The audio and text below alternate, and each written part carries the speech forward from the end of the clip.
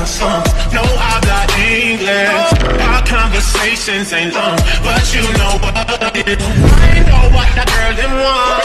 Get what that girl in want. Got lipstick stains on my passport. I need a new one. Let's get drunk this time.